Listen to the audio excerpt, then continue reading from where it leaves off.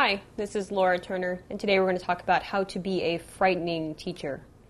Um, you may want to be a frightening teacher if you really want your students to step up and do a lot of work in your class.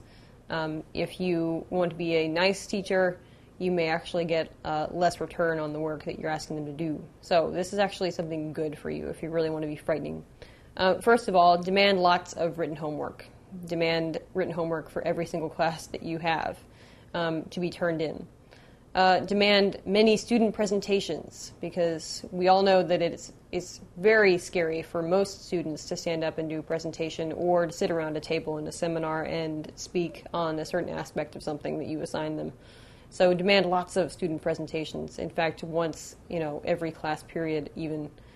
Um, number three, demand uh, a lot of homework, a lot of home reading and then actually pop quiz the students on the reading. So this will require them to read and then reread and then you know be frightened about the pop quiz.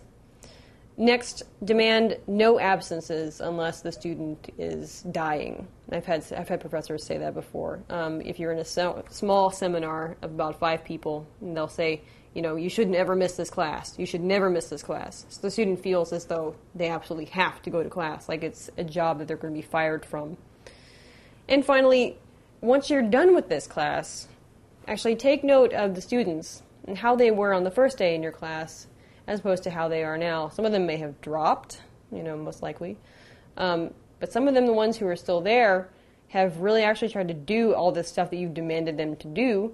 And I think will therefore be more hardened students and will actually know a lot more and be prepared to take classes that are going to be a lot easier than yours and you'll be known uh, across campus as a frightening and hard teacher, but people will take your classes.